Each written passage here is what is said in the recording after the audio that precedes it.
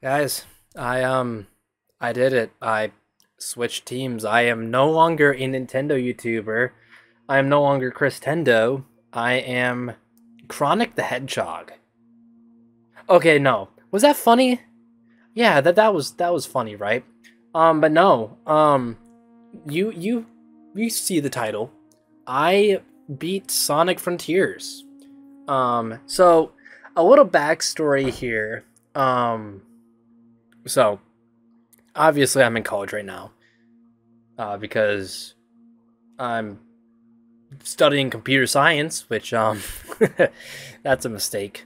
But I'm in college right now, and it was just one weekend. There was like nothing going on on campus or whatever. So I open up my Steam uh, because I wanted to play a game, and I was like, what do I want to play? Because honestly, this year there hasn't really been a lot Nintendo wise, so I haven't really had like the urge, I guess, to play Nintendo games as much as I would usually like. Um, and because of that, that's kind of made me open my, expand my horizons. Not open my horizons, expand my horizons. Um, and because of that, I was like, huh, I got Sonic Frontiers on Steam. And I was like, I've been wanting to play this game for a while. I've heard it was pretty good. And I was like, you know what? Screw it. We're going to play Sonic Frontiers. And that's what I did. The entire weekend. I could have spent working on videos, I could have spent doing other things, but no, I played Sonic Frontiers. And I started on Friday night, beat it Sunday night. I think my final time was like about 18 hours, but you could probably like subtract half an hour because I think I left it on one day when I went to go get lunch or dinner or something. Um, but yeah, I I, I beat Sonic Frontiers. Um, and I will say, um, before I do get into the game, I do want to just make it clear. This was my first 3D Sonic game I beat. I've played a few of the other 3D Sonic games. I've played a little bit of Sonic Generations um, on the Xbox.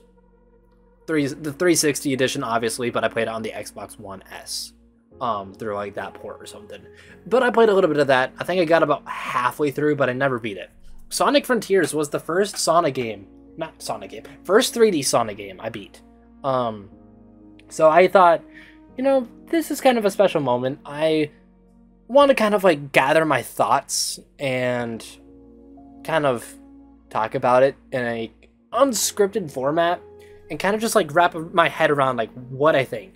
I think um the problem with YouTube right now is there's a lot of like this high edited, high like energy kind of stuff. And don't get me wrong, some of it can be good content, but sometimes we just need to slow down, and that's kind of what I wanted to do today um, as you could tell by the fact that I'm not cropping any audio and that I am going on tangents, and that will probably be a consistent thing as we get through this video.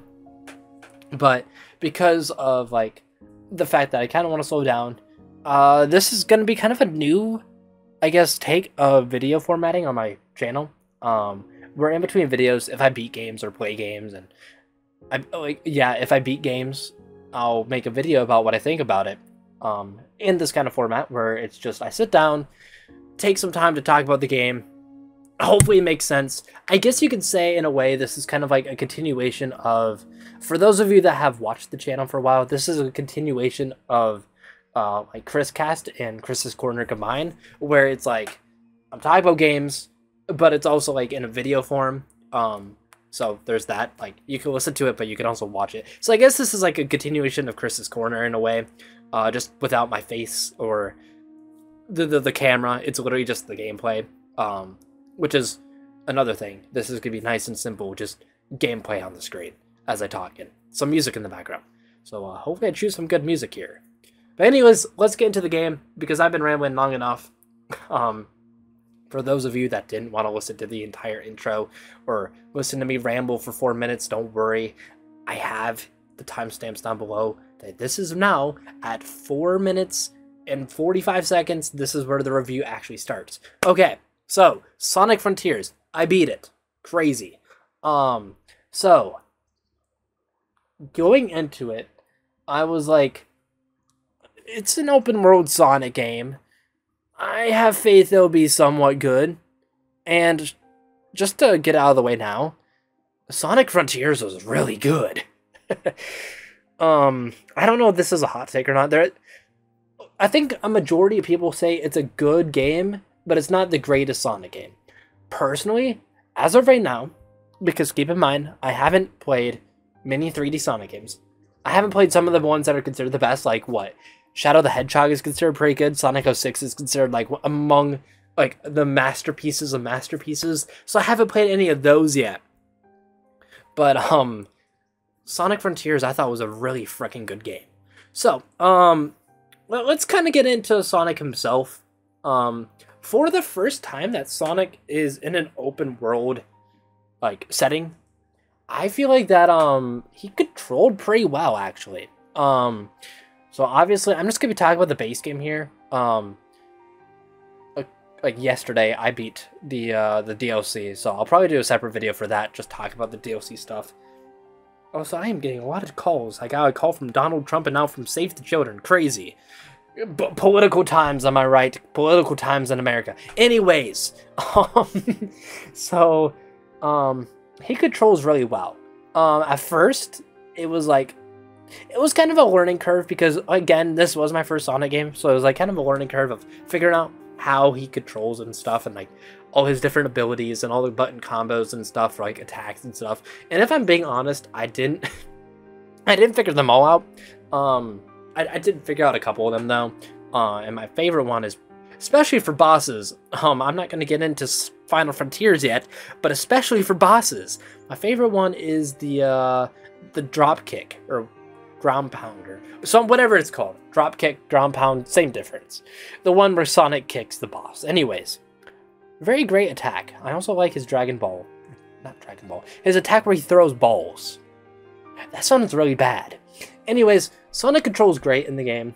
Um, there are points though where the game does um, kind of, I guess, suffer a little bit in terms of like how controls. One of the biggest examples I want to give is cyberspace. Um, so cyberspace, if you don't know, or if you've never played Sonic Frontiers, is kind of like the 2D levels in this 3D platformer Sonic game. They're not fully 2D, but they're like more linear. They're like the, I guess I should have said these are like the linear um, levels inside of Sonic Frontiers. And they um, kind of reuse the same themes that we've all come to know and love. You know, the green hills, the chemical plants, the angel eye, or no, the, uh, shoot, what's it called? Um, Sky Sanctuary, is that what it's called? I think that's what it's called. We're gonna go with that Sky Sanctuary. Yeah, it's Sky Sanctuary. The Sky Sanctuary is, you know, just the normal ones that they bring back in like every freaking game. Um, so, not bad. Uh, the levels themselves were pretty fun. Uh, the cyberspace levels were pretty fun. But I just didn't really like how Sonic controls in some of them. Like, he just feels kind of wonky. Um, so, one of the co like, like, most common complaints I heard about Sonic Forces, uh, just side tangent here. Uh, I promise this is going to be important. One of the side or one of the things I heard about Sonic Forces is that in like the more linear sections, which was basically the whole game, Sonic controls like ass. And um he doesn't control ass in this game, but he controls he kind of controls mediocre in the cyberspace uh, like levels and like there are linear parts in the open worlds as well, like where you go and get the memory tokens and stuff. Those are more linear, but I feel Sonic works just fine. But it feels like his physics get like changed when he gets into the cyberspace levels. I don't know if it was intentional or if like maybe I'm maybe I'm looking into this too deep and maybe he doesn't feel different, but I feel like he just didn't control as well it might have also been the camera in those levels as well because like you get the free range camera when it comes to the open world but then when you're in the cyberspace levels um it's like the um it's just the uh it's like the fixed camera like mario galaxy as an example. Cringe game by the way. Um anyways it's kind of like that. So because of that you don't have any control of the camera. So you're, you're not like fully feeling like you're in control of the game, which whatever, not the biggest deal, but th- that that was kind of like one of my biggest nitpicks, I guess, with the game. Um, on the topic of nitpicks, I gotta say, Chaos Island sucked booty cheeks. Okay, Chaos Island. Okay, don't get me wrong, it wasn't completely bad. Um, but there were um times where like so if you don't know what Chaos Island is like, um it's um like where the the the map is basically like a bunch of floating islands. And there's a lot of like going between the different islands and stuff. And I don't know what it was because I I'm not like remembering this at the top of my head, but I do remember Chaos Island being kind of a pain in my left cheek. It was like just just like traversing the island was miserable at some points. Um apparently there was a bird that you could have used to move across the islands, but I never learned about that. I was trying to find those damn rails that took you from island to island.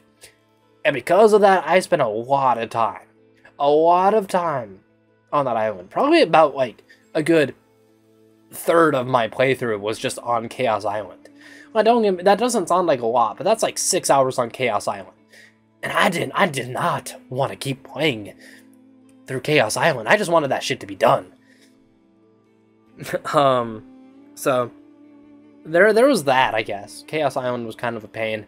Well, I think the big thing though was I was I was low on the um the vault uh, the vault keys to be able to get the chaos emeralds, and there was like cyberspace levels and stuff. And some of the ones on Chaos Island were stupid in my opinion. I couldn't I couldn't tell you specifics, but I remember some of the ones on Chaos Island being stupid, and because of that, um, I wanted to get new ones. But I've like beaten the bosses and stuff and used these like uh the, the little things, the little orbs, or I don't remember what they're called, uh, to open the like cyberspace levels. And I, I beat a lot of the bosses, and I didn't know how to properly go about like traversing Chaos Island. So because of that, I was like stuck. Like I was like, what do I even do? Because I was like, am I even able to like continue? Because there was like points in the game where like because I think it's called like Starfield Islands or something like that. I don't remember what they're called. But anyways, sometimes when like because, like at night, like stars would start like falling down. And when that happens, bosses respawn. So I'm just like over here, like, do I have to wait for like these bosses to respawn, which which is part of the reason why, as I mentioned earlier, I probably had like half an hour where I spent just like AFK while I was at lunch or dinner because I was on Chaos Island and I wanted to get that star dust, star rain, whatever it was called. I wanted that to happen, so I was able to go and fight bosses again. Don't worry, I eventually figured out like where other bosses were and stuff. Um, by exploring the map. I know, crazy. Um, so I was eventually able to get through that, but I gotta say, I think Chaos Island was kind of a low point of the game. But I, what I, what to um, kind of go back to like a good point or a high of the game, I guess you could say. The other islands were pretty good.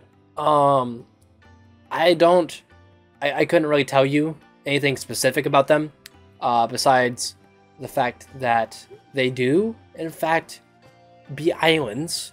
Um, the first one was pretty good as an introduction. I do remember that. The second one was a pretty good desert, I guess. Um, it was a desert island. It was fine. I couldn't, again, I couldn't tell you specifics about each island. I wish I could, but I'm kind of going off the bat here. I'm kind of going off my memory here, which is maybe a downside of this. I can't give, like, full, proper, in-depth analysis analyses on everything because I'm kind of going off what I'm remembering right now. No notes, nothing. Um, so, yeah, I'm kind of just going off the top of my head. I've said that too many times. Let's get back on track, Chris. Um, so the the islands were pretty good besides Chaos Island. I didn't like hate playing the game at all. Even on Chaos Island, it just pissed me off a bit, but I didn't hate the game at all.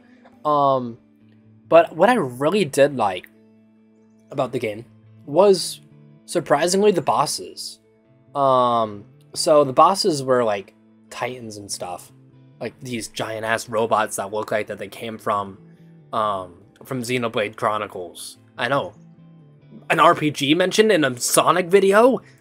Is that even a is that even allowed? But um, yeah, uh, Xenoblade inspired, I want to say, but the boss themes were great. Um, if you're lucky, maybe in the video I put a couple of them in here because I think those are some of my favorite Sonic songs ever. Um, especially like Undefeatable. I think that one's a really good one. And conveniently enough, that's the first one, like the first boss theme in the game. Um, it's for like, like Gigantro or whatever the name of it was. And I will say the bosses in Sonic Frontiers were piss easy. They were not hard at all. The only time I really struggled was the first one, and that was only because I didn't know about parrying, because I skipped, I accidentally skipped past the tutorial. So I didn't know about parrying, so I didn't know how I was supposed to damage the boss. But once I figured that out, the bosses were pretty easy. Um, we're not talking about Final Frontiers here, Chris. We're not going to be talking about that part of the game. Um, but yeah, the bosses weren't weren't hard at all. They were piss easy, as I mentioned already, like five times probably. But what I really liked about them was like the cinematics of it and just how badass it felt fighting the bosses because Sonic is supersonic, okay? No duh. That's how he defeats them. You, you get the Chaos Emeralds in each island. The seventh one is on top of the boss, and then it goes into the boss fight. Great ass boss themes start playing. These like nice punk rock sounding songs. Great songs. Find Your Flame, Undefeatable, great, great. I mean, Breakthrough It All isn't bad either. That one's pretty good. Um, but the bosses, like, like when you're fighting them, they're not hard. I've mentioned that already. I need to stop repeating myself. But um, they're also like just like cinematically like good to like, I guess watch and like just satisfying to beat because Sonic I will say the the bosses really do remind you that Sonic is badass because my favorite one, like my favorite, my favorite finale, not favorite, favorite finale for a boss in the game is when you're fighting against the Knight. I'm pretty sure that's what it's called. The Knight. It's the third one. The one at Chaos. Was it Chaos? Yeah, it was Chaos Island, conveniently enough. Um, so you're fighting this third boss. You're fighting the Knight. Find Your Flame is play, playing. And like Sonic, like, so you defeat the boss. It's a cutscene, and Sonic grabs the sword of the of this bastard, and he just slices this bitch in half. And I'm just like, holy moly, Sonic, you are badass. That like actually genuinely had my jaw my jaw dropping. Like, oh my god, this is great. And like all the fights have something like this too. I I can't specifically remember the like killing blow of the other bosses. Um, despite the fact that I played New Frontiers or Final Frontiers, Final Horizon the other day. Um, I couldn't tell you the specifics, but I do remember them all being pretty good. On top of being good, or on the topic of being good, the story was pretty good as well. Um, obviously there was some pretty cheesy dialogue in there and stuff.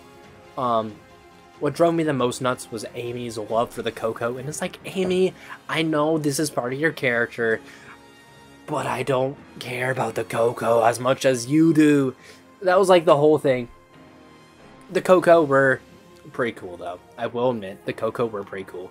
But I, I just thought it was kind of funny how much like Amy really cared for these Koco. It's like, okay, whatever, Amy, you do you.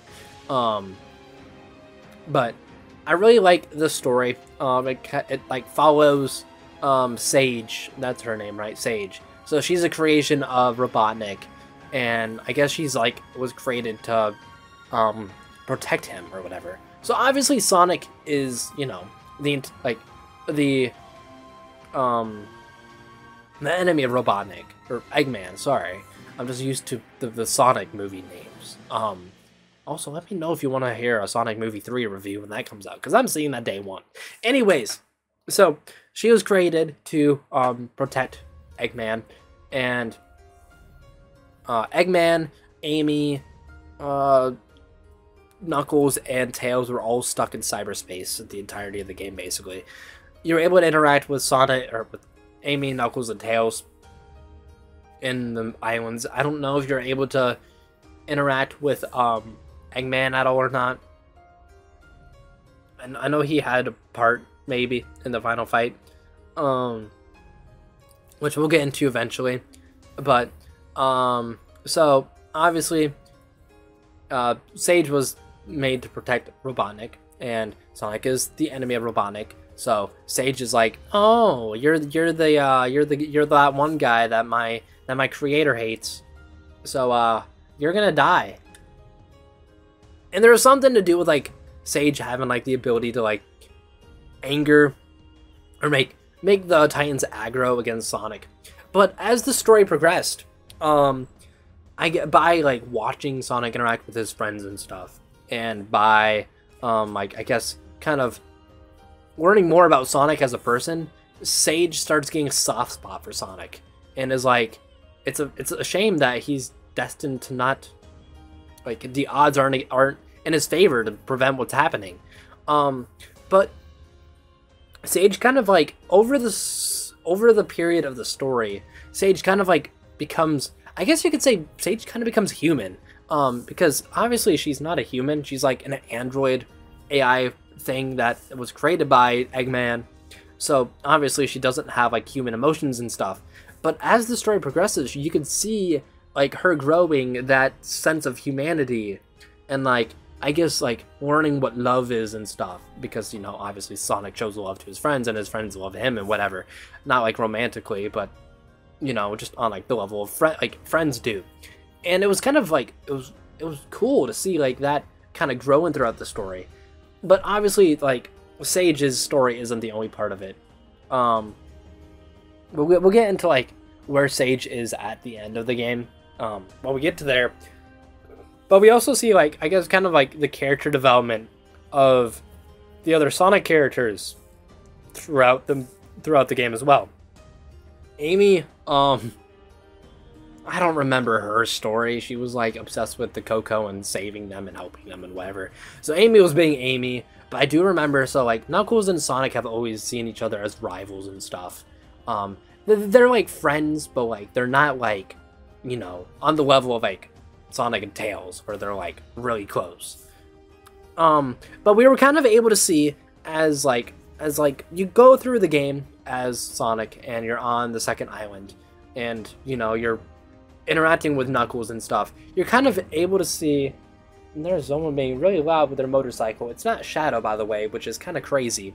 Um, but you can kind of hear, or you can kind of see, uh, Knuckles and Sonic have like grow more of a respect for each other. Where you know, obviously, the, there's a rival rivalry going on between them, but like you could see like that deep down they would truly do like they would truly like save one another if it came down to it.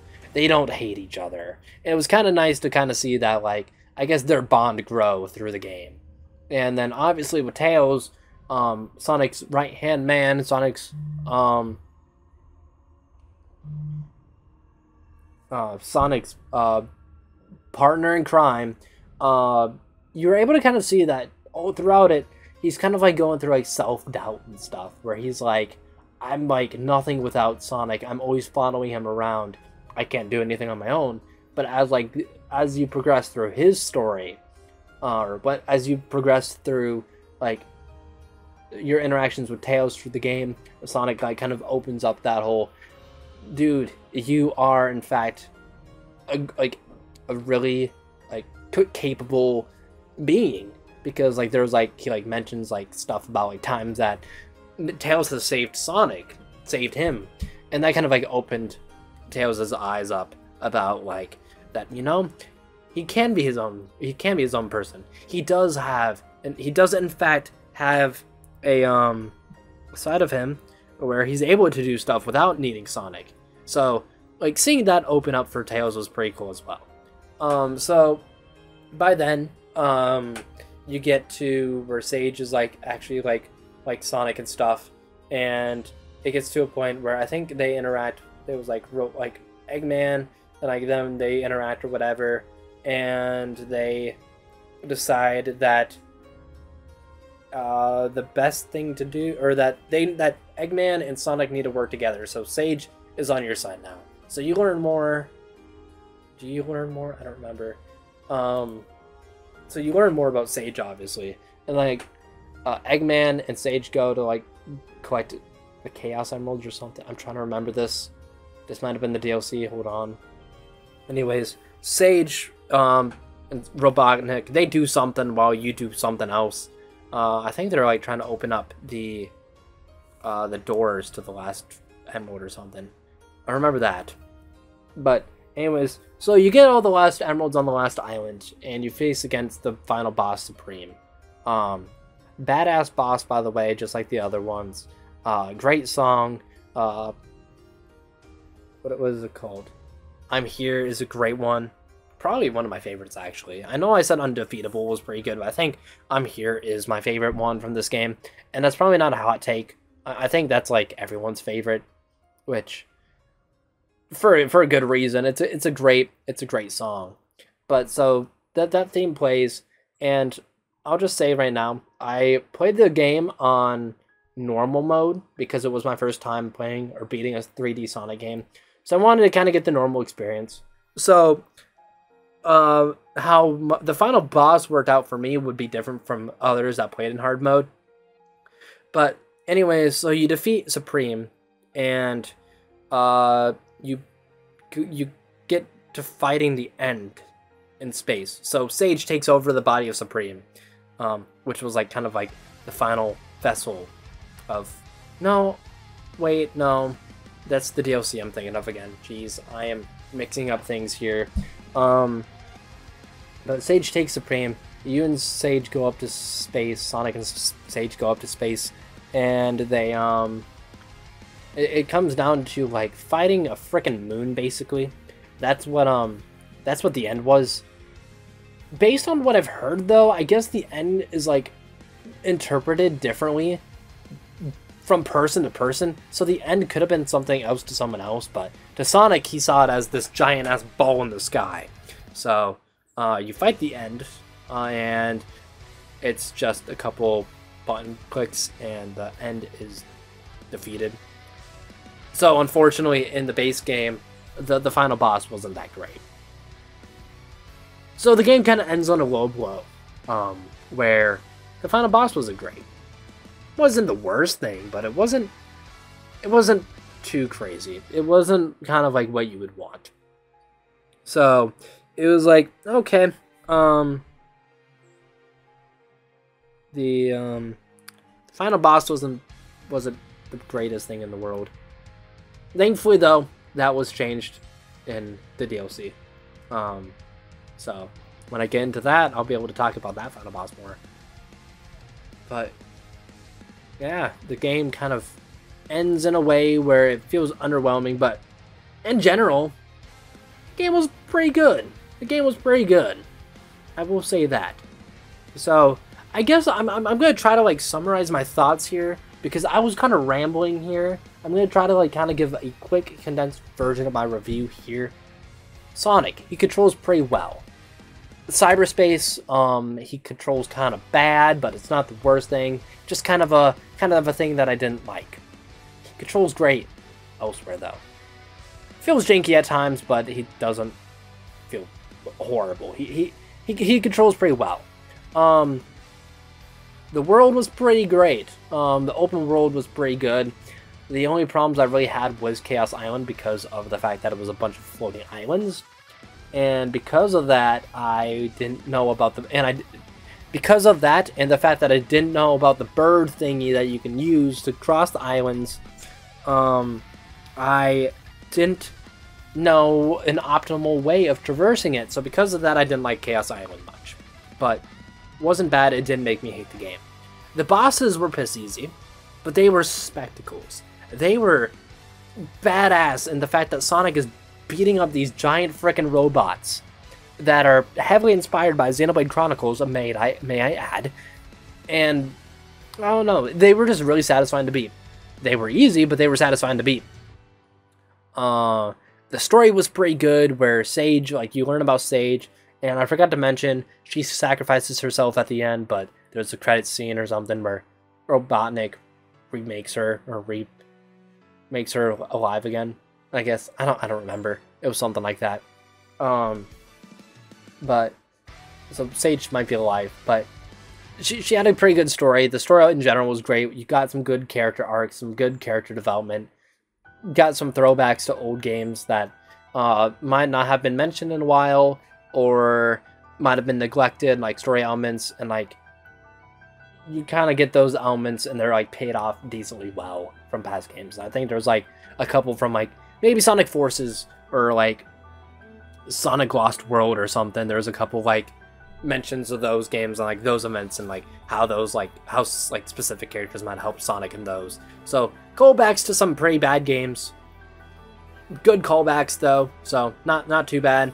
And then uh, the the final boss, uh, first phase was pretty good against Supreme, but once you get to the end, it's kind of underwhelming because it is just a couple quick time events where you click a button like pretty quick, like you ha- like have to time the button well, and um, there is um, I- am pretty sure in the hard mode it was like a Galaga kind of game. That was the final boss from what I heard.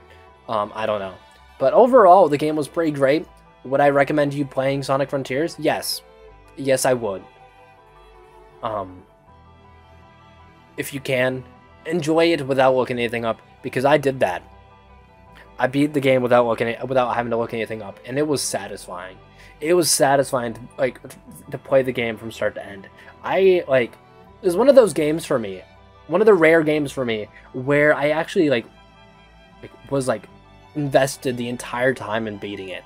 Like I didn't want to put it down. It was like, like I said, it was like over a weekend I beat it, and I like there was like a few times where I would obviously put it down because I had to go do something, but like I, I enjoyed it. I, I, I like I wanted to come back to it like in between like what I, like things I was doing. I was like I want to beat this game. Like I, I had a great time through and through, and I hope that other people had similar experiences with the game. Um, I hope I'm not in the minority of people who think that Sonic Frontiers was good, and um, yeah, so that's kind of my thoughts on it. With Sonic Frontiers in a nutshell. I guess in like a 35 minute long nutshell we're, we're approaching that pretty soon. It seems like I'm not gonna. I'm gonna try not to make it to uh, 35 minutes. But if you did watch all the way to the end, thank you very much for uh, for watching this. Uh, I this, this is kind of an experimental format for me because I've done podcasts before, and I've done like these unscripted videos but I haven't really done them in like a way where I talk about a game that I've played. I've, I've talked about games in the past, but I haven't like really gone into detail about like a specific game. So if you want to see more like this one, uh, please let me know. Please let me know like what I could do to, I guess, improve the format while keeping it simplistic. What which is what I'm going for. Don't tell me like make sure you like condense all this down into like a 50 minute long video, because I'm gonna keep to the raw audio format where it's like me talking to the microphone for however long I'm talking to it, uh, and like no pauses or like cuts here and there. Almost I really need to because something's going on, like someone yelling outside the window. Gotta love that. Gotta love the college life. Um, but yeah, let me know if you like if there's anything I could improve in this format, and I guess like what other games you you think I should play. Um, I think the next Sonic game I'm gonna be playing is Sonic Adventure 2 or Sonic X Shadow Generations, whichever one I get to first. Um, actually, a few minutes before I started recording this, I, I was uh, like legitimately totally not emulating Sonic Adventure 2 to make sure that everything was working in case I wanted to play it on the on a Dreamcast emulator. Not at all. I was playing this on a genuine Dreamcast, so Sega, please don't please don't sue me. I was playing this legitimately, okay? Okay? Yes. Um but let me know what other games I should play. Um, I'm kind of open to anything right now. I'm open to game suggestions. I'm not an RPG guy, so if you suggest an RPG, there's a good chance I probably won't play it, unless it's a Mario and Luigi game. Um, so I guess when the new Mario and Luigi game comes out, you could expect maybe a kind of a similar review format to this here, where I talk about the game and give my thoughts on it and stuff. Um, but yeah, that's all I really have to say here. We are approaching 35 minutes, as I said I wasn't going to do. Um, but I, I hope you did enjoy this one. If you did enjoy this, uh, please consider subscribing um, and leaving a like on the video and letting me know what I should do next. Uh, with that said, I'm the biggest nub on YouTube. Chronic the Hedgehog. Sorry, Christendo. Sorry, I'm sticking. To, I gotta. I gotta stick to my branding. I'm sorry. I'm not rebranding to Sonic YouTuber. I'm still the Nintendo guy. Still the guy that makes videos on questions you didn't ask. But um, that's it for this one. I'll catch you guys in the next one. Goodbye.